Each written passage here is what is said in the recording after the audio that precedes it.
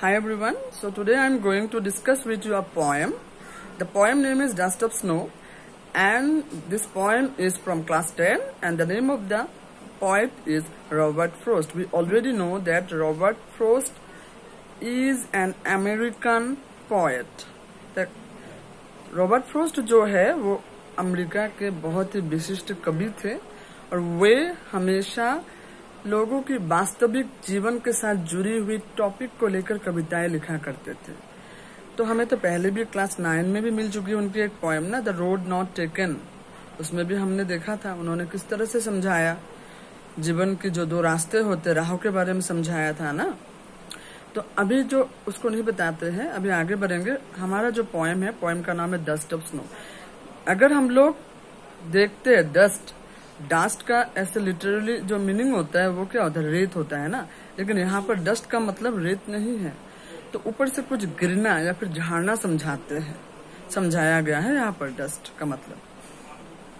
तो पोएम को हम लोग आगे बढ़ाएँगे। The way a crow shook down on me the dust of snow from a hemlock tree मतलब कभी शायद कहीं पर जा रहे थे उनको एक जगह आकर रुकना पड़ा।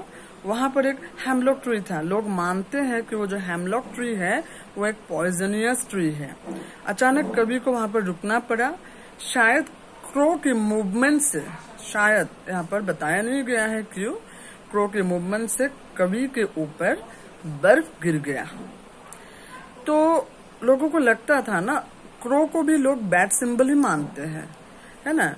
कोई भी, कभी कोई अगर कौवा, काव काव बोलता रहता तो हमें लगता है ना कुछ अशुभ होने वाला है।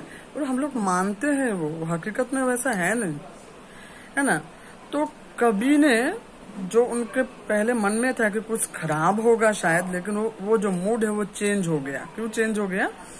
Has given my heart a change of mood and save some part of a day I had तो जब भी, जब उन्होंने बर्फ़ की जो ठंडक महसूस की तो उनको ऐसा लगा कि उनका जो आधा दिन बर्बाद हो चुका था यहाँ आकर वो दिन उनका अच्छा हो गया है। उनको कुछ अच्छा फीलिंग हुआ, है ना? कभी बोलना चाहते हैं कि हम लोग जो सोचते हैं ना, जैसे कि हमारे सामने से अगर हम लोग कहीं पर जा रहे होते हैं, बिल्ली ही रास्ता काट, कट जा, कट जाती है तो हमें क्या लगता है, हम लोग पीछे हट जा, हट आते हैं ना?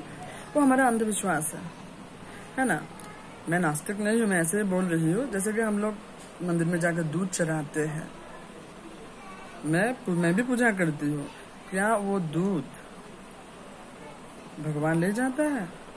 अगर वही दूध ले जाकर हम किसी भूखे बच्चे को पिलाते हैं, शायद हमारा पुण्य ज़्यादा होगा। मैं भी पूजा करती हूँ, क्योंकि हम लोग मानते हैं बोल के मैं पूजा करती हूँ। हमारी संस्कृति में है।